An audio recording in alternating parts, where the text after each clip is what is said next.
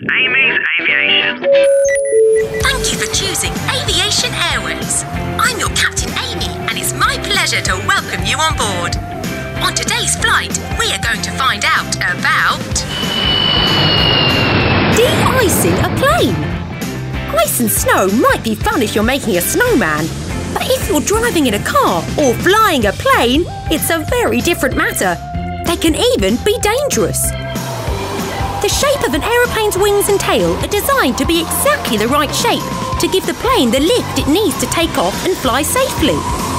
A layer of ice or snow can change the shape, making it harder to move the plane in the way the pilot wants. It also makes the plane much heavier. If you've ever been hit by a snowball, you'll know that ice can feel as hard as rock. So, when a plane is being prepared for takeoff, ice and snow will be removed with special de-icer sprays. A bit like the ones people use on their cars on frosty mornings. Although at airports, these sprays are much, much bigger.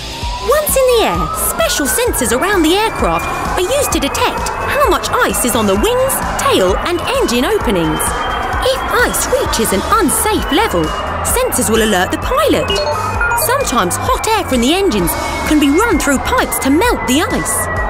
If it's too severe, the pilot may decide to change course or height to make sure the plane and everyone inside stays safe.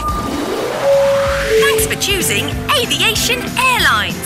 We hope to provide you with more airplane facts again soon.